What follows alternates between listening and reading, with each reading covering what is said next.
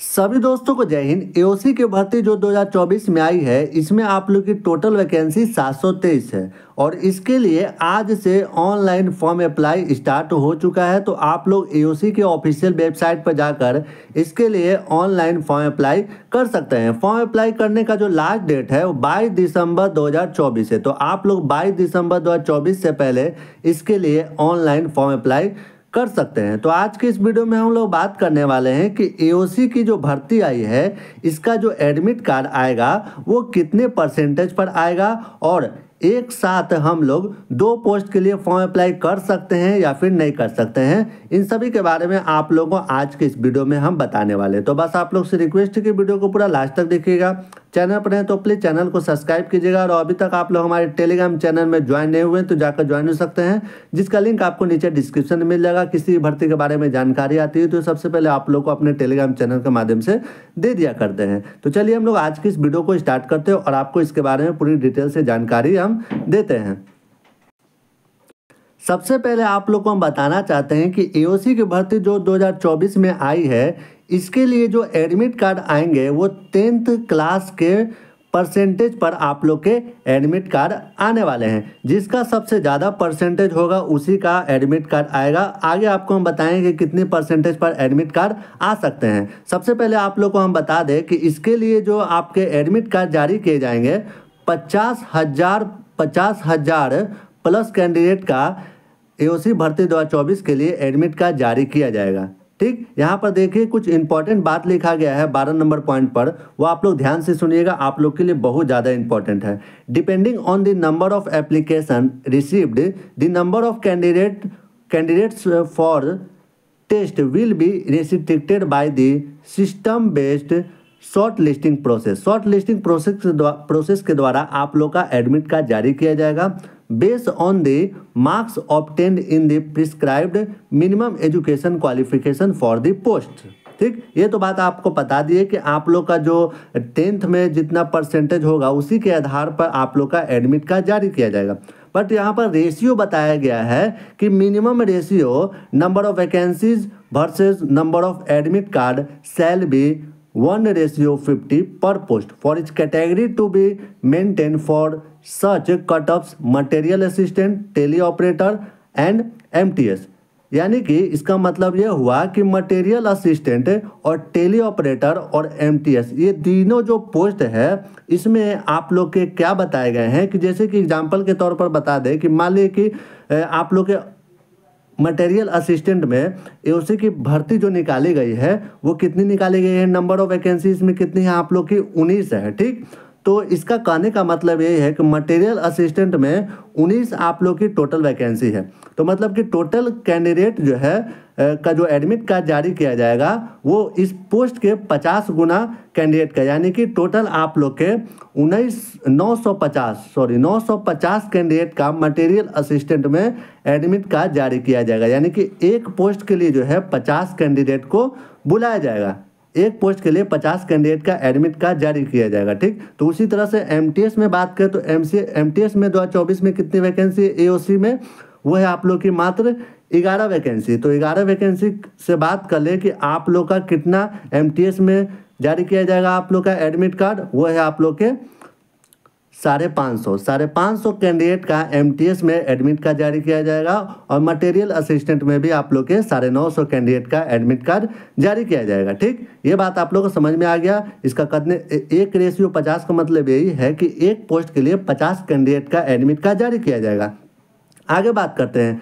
आगे यहाँ पर लिखा गया है, यहाँ पर देखिएगा कि junior office assistant civil motor driver carpenter and joiner painter painter and decorator fireman tradesman mate. इसका जो रेशियो है एक एक रेशियो पचहत्तर, यानी कि एक पोस्ट के लिए पचहत्तर कैंडिडेट का एडमिट कार्ड जारी किया जाएगा। मतलब कि जैसे कि एग्जांपल के तौर पर बता दें कि आप लोग की दो हज़ार चौबीस में एओसी की जो फायरमैन की वैकेंसी आई है, वो टोटल दो सौ सैंतालीस वैकेंसी कितनी है? दो सौ सैंतालीस तो इसमें हम लोग पचहत्तर से गुना कर देंगे। तो टोटल टोटल जो आप लोग के फायरमैन में कैंडिडेट का एडमिट कार्ड जारी किया जाएगा, वो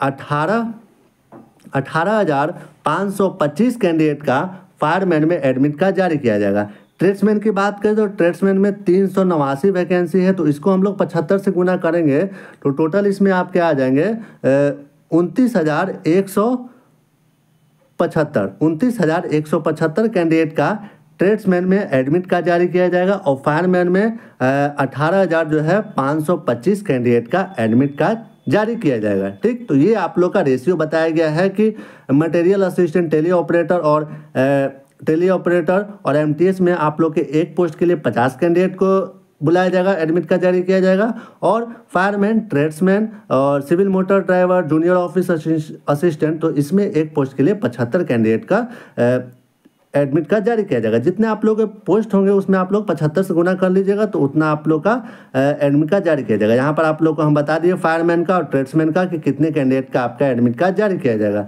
तो आप लोग आप लोग खुद समझ सकते हैं कि यहाँ पर जो है material assistant operator grade two और एमटीएस है, इसके मुकाबले जो है ये सभी का जो कट ऑफ़ है कम जाएगा। किसमें क्यों? क्योंकि जो है, इसमें पचास एक पोस्ट के लिए पचास को बुलाया जा रहा है और यहाँ पर जो है एमटीएस में देखिए, एक पोस्ट के लिए पचास कैंडिडेट को बुलाया जा रहा है और यहाँ पर जो है ट्रेड्समैन के लिए एक एक पोस्ट के लिए पचहत्तर कैंडिडेट को बुलाया जाएगा। पचहत्तर कैंडिडेट का एडमिट कार्ड जारी किया जाएगा। तो उसके मुकाबले जो है, आप लोग का ट्रेड्समैन मेट का जो कट ऑफ़ है, वो कम जा सकता है। आप लोग के एडमिट कार्ड का। अब एडमिट कार्ड की कट ऑफ़ कट ऑफ़ की बात करें तो देखिए, जैसे कि आप लोग को हम बताएँ कि ट्रेड्समैन मेट ट्रेड्समैन मेट में आप लोग के उनतीस हज़ार एक सौ पचहत्तर, उनतीस हज़ार एक सौ पचहत्तर कैंडिडेट का एडमिट कार्ड जारी किया जाएगा।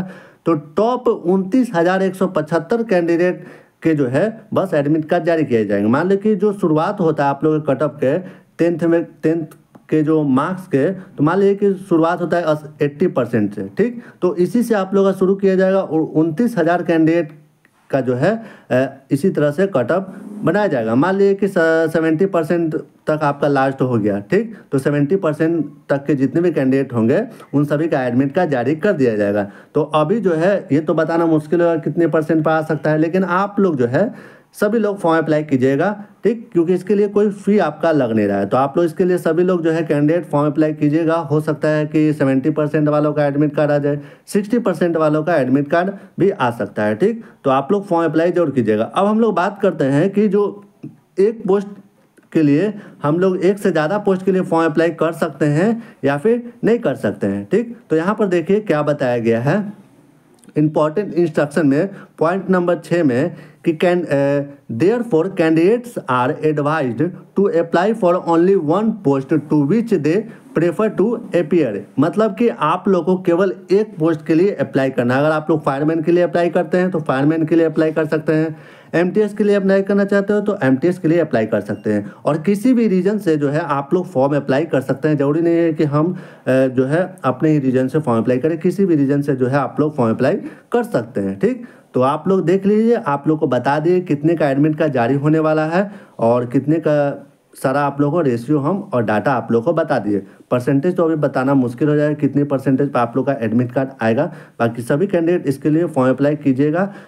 हो सकता है कि अगर ज़्यादा कैंडिडेटों ने फॉर्म अप्लाई किया तो ज़्यादा कट ऑफ़ इसके लिए जा सकता है एडमिट कार्ड का। बाकी इसके लिए ऑनलाइन फॉर्म अप्लाई स्टार्ट हो चुका है तो आप लोग जाकर एओसी के ऑफिशियल वेबसाइट से इसके लिए ऑनलाइन फॉर्म अप्लाई कर सकते हैं। चलिए आप लोग से मिलते हैं किसी नेक्स्ट वीडियो में। जय हिंद बंदे मातरम।